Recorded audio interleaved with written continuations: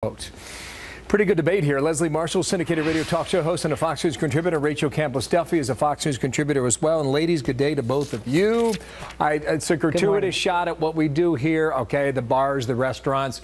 I'm getting tweets from people saying Cheerios and Bud Lights. I watch you every day. Um, we, we can debate this, but I think this point has, we've gone over this now for eight years. I think, Leslie, the bigger point that he's making in this without stating it, is that Hillary Clinton failed to go out and reach voters in a way that her husband did effectively for eight years. And that's why Trump's president. Start there. Go. I agree with you. I, I, mean, I'm a Democrat, but you have to look at facts. And it's not just the failure of the candidate, uh, it's the failure of the party, failure of the campaign. Remember that former President Clinton, her own husband, had said, do not disregard the very disenfranchised feeling among the white working class and those voters. Yet, what, how many times did she go to Wisconsin? And forgetting James Carville's message, it's the economy, stupid. There was not a strong economic message. Uh, trade was definitely an issue. And then when we look at the number of people who stayed home, whether they were Bernie or bust, whether they were African Americans or whether they were millennials, uh, those are the true reasons, uh, certainly not this uh, network. Rachel, here is one of the quotes uh, from the president. We spent a lot of time uh, focused on international policy and national policy and less time being on the ground. And when we're on the ground, we do well. This is why I won Iowa. Wow, that, that's reaching back to 2008. He did another interview right. where he talked about going deep into southern Illinois to introduce himself themselves uh, uh, when he was running for the Senate. He was clearly making the case that he sold himself and Clinton did not. What's your take on that? Such denial from Leslie and from President Barack Obama.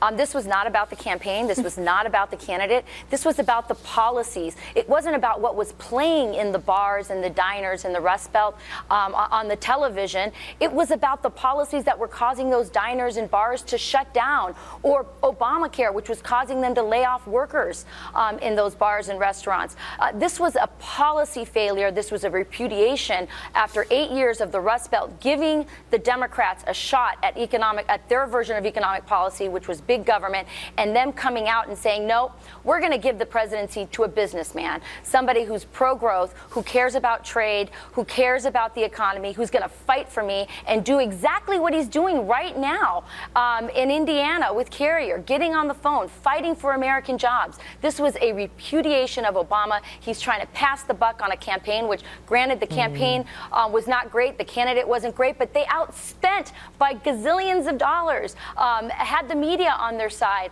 Uh, this was about policy. I get it. Okay, messaging. Leslie, what about that?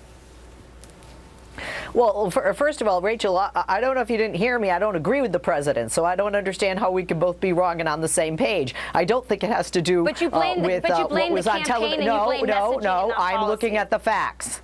I am looking at the facts, Look and it's it's not. And it, I do not blame. I do not feel it was a reflection of President Obama, quite frankly, because I feel it was really more of a reflection of Hillary Clinton. Of definitely, we saw left and right with the success of Bernie Sanders, and certainly the success of President President-elect Trump that people wanted anti-establishment, they wanted outsiders, they wanted change. We also saw that trade was huge, and we also saw that the white-collar workers did feel disenfranchised, as former President Clinton had talked about, and we saw that that was ignored I by you, the Leslie, candidate, you know, by the campaign, and by the party. You, I mean, the whispers out of Brooklyn is that they failed to connect there. Tim Ryan, who failed in his bid to unseat Nancy Pelosi, said this rather um, enlightening comment 10 days ago.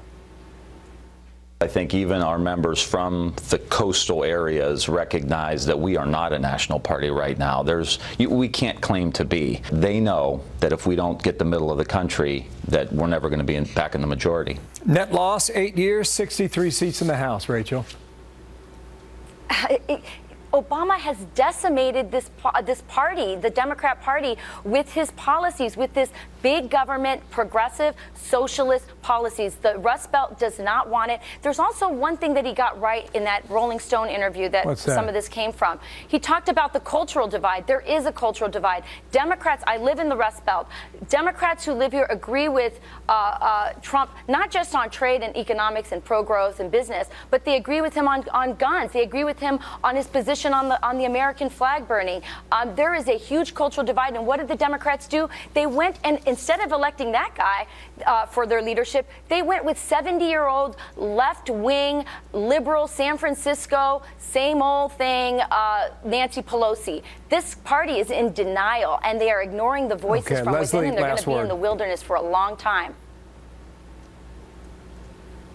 Oh, last word. Thank you, Bill. Uh, very quickly, I am one of the liberal Democrats who thought that a change was a good idea. And and uh, basically, look, you know, when you're when you don't have the majority in the Senate you thought you get, when you didn't get the White House, and you've lost seats within the minority in the House, and that has happened under the leadership of Nancy Pelosi, maybe it's time to look for a change going forward, and somebody from a Rust Belt state, uh, like you just talked about, as opposed to the state where I am here uh, in California. But as we've seen, not just with Pelosi, we've also seen it on the right with Ryan and with Boehner. Uh, th- these parties seem to go back to uh, the candidate that they had before as a leader, and All I'm right. not sure it's best for Democrats. Part of it is forward. Fox News in every bar and restaurant in big chunks of the country. We wish that were the case.